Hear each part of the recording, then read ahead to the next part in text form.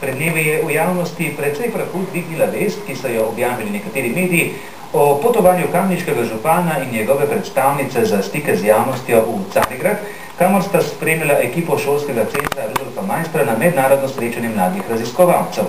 No, poskušali smo ugotoviti, zakaj je pravzaprav šlo in kako kamničani gledajo na takšna županova potovanja. Ko smo kamniškega župana vprašali, kakšno korist bo občini prineslo njegovo potovanje v Carigrad, nam je odgovoril, da neposredne koristi ne bo, da pa je potovanje pomenilo priznanje mladim raziskovalcem in je prispevalo k promociji tako občine kot tudi Slovenije. Mislim, da vrčevanje pri takih zadevah ni tako na mestu, ker ta drobnogled bi bil bolj zaželjen tam, kjer se trošijo milijoni. E, tam po drugi strani mečemo milijone skozi okno, tukaj se pa pogovarjamo o 500 evrih. Pravi, da se je zavidal, da je treba varčevati in da je pod drobnogledom opozicije, vendar se mu zdi, da je bilo potovanje smiselno.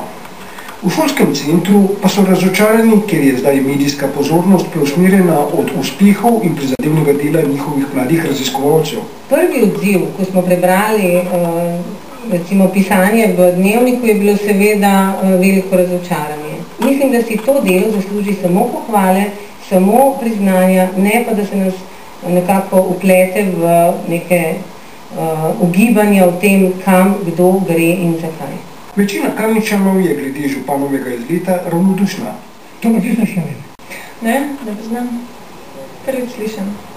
Ja, meni se to v redu zdi, da so pa takole delali z mladim, pa da gre z njim, pa to meni se pa to čisto v redu zdi.